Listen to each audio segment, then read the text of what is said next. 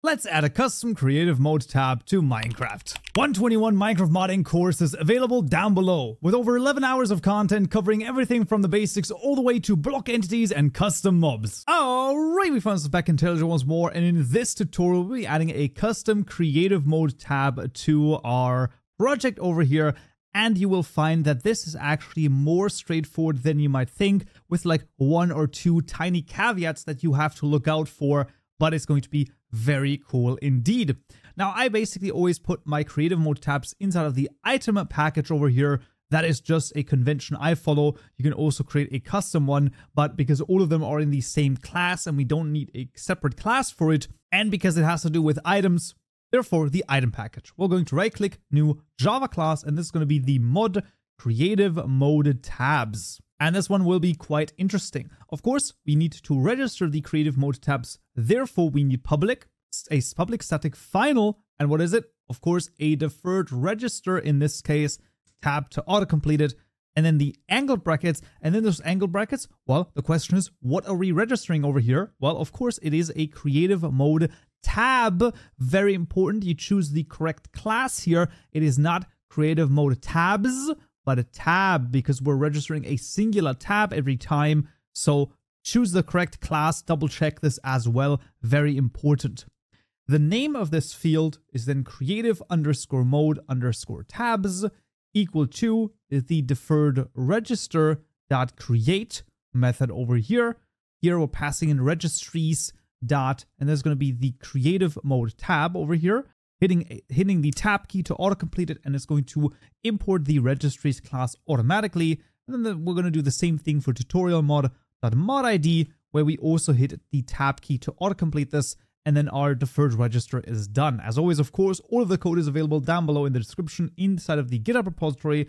And then to complete the deferred register of course we once again need a register method in this case with an i event bus right here called event bus and inside of the method, we're going to call the deferred register over here and then the register method on it, passing in exactly that event bus.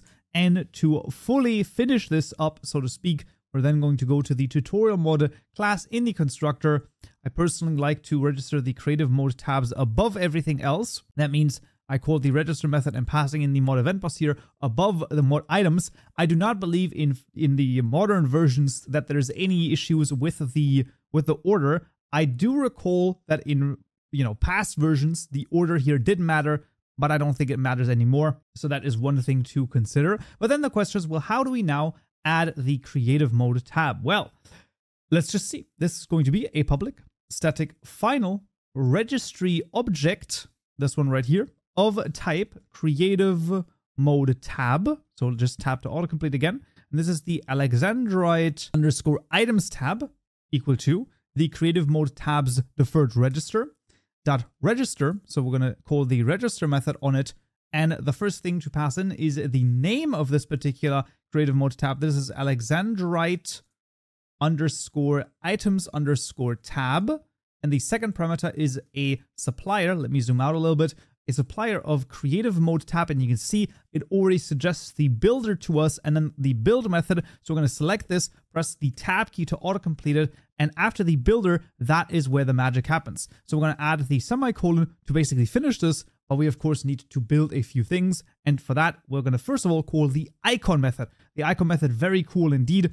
This needs a supplier of an item stack, and that is going to be the icon for your particular creative mode tab. Pretty freaking cool. So we're going to make a supplier inside of it of a new item stack. As you can see, tap to auto-complete it again. And we're going to choose mod items.alexandrite.get. And that is going to well, make the Alexandrite the icon for the Alexandrite item tabs. Pretty cool. We then need to define a title that is going to be when you hover over it, what is the title of this going to be? And that needs a component. So we're going to choose the component that translatable. You can see that actually already suggests this to me. So we're going to choose the translatable one because we want the uh, actual name to be translatable to other languages. So I'm going to say creative tab dot tutorial mod dot alexandrite underscore items. That's going to be fine. And then maybe the most important method that we want to call here is the display items method. So I start typing in display and hit tab to autocomplete it. And then inside of the parentheses, we're going to start typing in the item display parameters. And you can see that it suggests this to me, right? This lambda over here. And what we'll simply do is click on this and press the tab key again to autocomplete this, create the curly brackets, and then I'm just going to reformat this the tiniest bit. And now inside of these curly brackets, this is where we will add all of our items to this particular tab. So simply we're going to say output.accept and then passing in the item we want to add, mod items.alexandrite.get. Bam. Now the Alexandrite has been added to this tab. Similarly, we can do the same thing again for the mod items.raw underscore alexandrite.get. And there we go, also added to this particular tab. Now that is absolutely freaking amazing. And now our custom creative mode tab is already in the game. But as I've previously said, one is equal to none. Therefore, two is one. And that means that we're going to have a second one. Now, how is this going to work? Well, what I'm actually going to do is I'm simply going to duplicate this particular tab over here. And we're going to have this like again, basically, right? So we're simply going to select all of it and then press Control D to duplicate it and we will get one error, and that is in the name over here, because of course, these two fields now share the same name, which can't happen. So we're simply going to change this to the Alexandrite blocks tab. And now it is very important that we, of course, also change the name here to Alexandrite underscore blocks underscore tab. We're also going to change this to Alexandrite blocks. The actual item that is going to be displayed is no longer the Alexandrite, but is now going to be modblocks.alexandriteblock.get and then of course, whatever we add in here is going to be a little bit different. In this case, I want to add all of our blocks. So modblocks.alexandriteblock.get.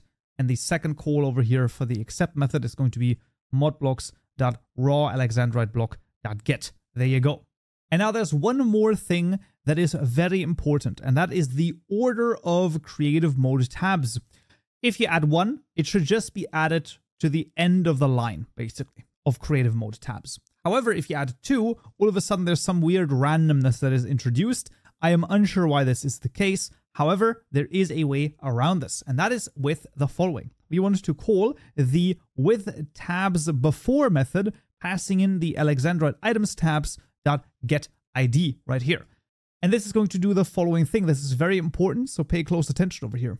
When we call this method with tabs before, right, we can actually go into this, control left click on this, and you can see defines the tab that should become before this tab, meaning that the Alexandrite blocks, wherever it appears, before it will always appear the items tab, right? So let's say it's going to be like ingredients, and then we're gonna have the spawn eggs, right? And then we're gonna have the item tab, right? So Alexandrite item tab, then we will always have the Alexandrite block tab right after it, right? So those two are always going to be in this order, and that is basically to ensure the order right here. So keep that in mind. With tabs before means that this tab, where they're passing in right here, is going to appear before the tab where we called this on. That's the whole idea, and that is the idea of ordering the tabs when you have multiple. Right, the only other thing we need to do is add the translation over here for the name. So that's going to be in the lang folder ian underscore JSON file. I'm pretty sure this should be fairly self-explanatory, is literally the thing that we've written right here, right? So creative tab.tutorialmod.alexandrite underscore items.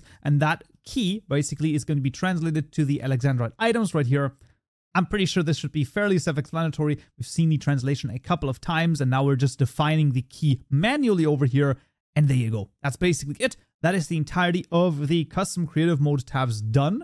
And yeah, the code is all available down below. So let's jump into the game and see if it works. All right, finally back in Minecraft. And if I open the inventory, you can already see we have two different pages over here. That is a great sign. You can see the Alexandrite items and oh, there is a typo in here somewhere. Well, there you go. That is a, that can of course always happen, but there you go. We got the Alexandrite items and there the two items are in here. And then we have the Alexandrite blocks and you can see actually the typo here is that in the creative mode tab, right? You can see Alexandrite underscore block. So we can actually double check this. Here I wrote block while here I wrote blocks and that is basically the issue. So if I were to write blocks in here now and we were to reload the game, and when I say reload the game, I actually mean completely restarting the game. And if we were to do that, then you can see all of a sudden Alexandrite blocks. So a typo, as I've said, can always happen. It can also happen to me. It has happened to me multiple times, I can tell you that much.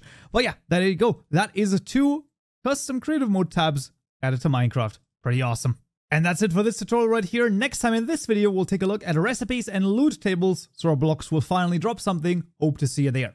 So, yeah.